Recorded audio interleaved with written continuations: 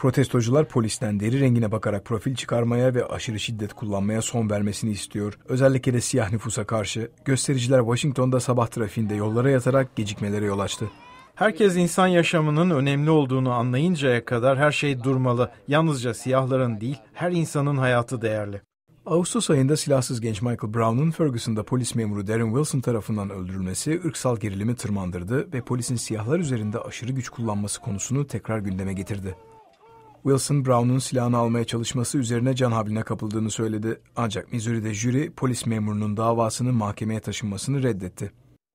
Siyah toplum liderleriyle görüşen Başkan Obama, siyah Amerikalıların polis tarafından vurulması olaylarının yüksek oranda yaşandığı kentlerin emniyet teşkilatlarında değişim için baskı yapmayı sürdürme sözü verdi. Yaşanan hayal kırıklıkları tek bir olayla ilgili değil. Bu hissin birçok siyah toplumunda derin kökleri var. Bu gruplar yasaların adil ve eşit biçimde uygulanmadığını hissediyor.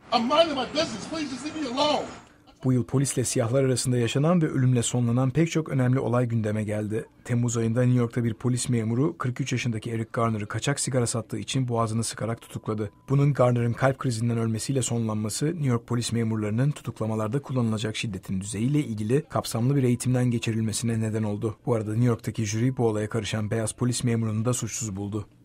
Um, shots fired, male down, black male, black.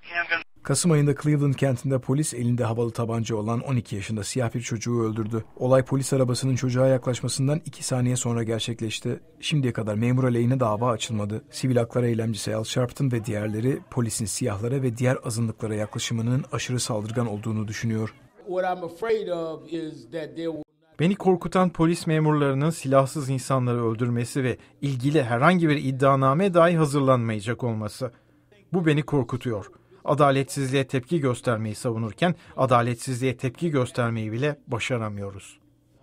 Amerika Adalet Bakanlığı, Ferguson Emniyet Teşkilatı ve birkaç diğer teşkilatla ilgili soruşturmasını sürdürüyor ve buralarda ırka dayalı profil çıkarma ve aşırı güç kullanmanın doğal hale gelip gelmediğini inceliyor. Çağrı Tanyol, Amerika'nın Sesi Washington.